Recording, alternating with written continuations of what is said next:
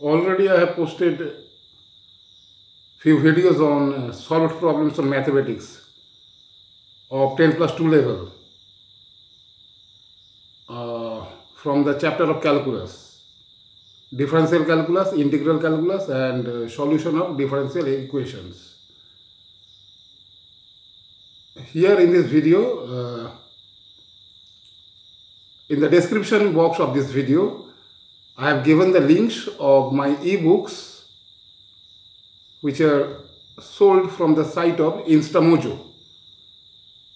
And so the link is given. By going through the link, you can purchase my ebooks on the solved problems of mathematics.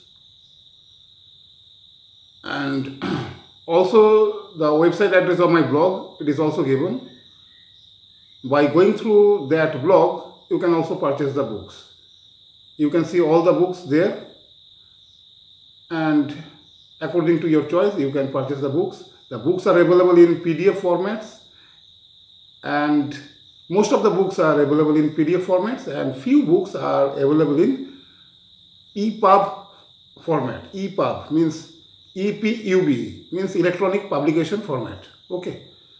So if you do not have EPUB reader, you can easily download the EPUB reader from Play Store.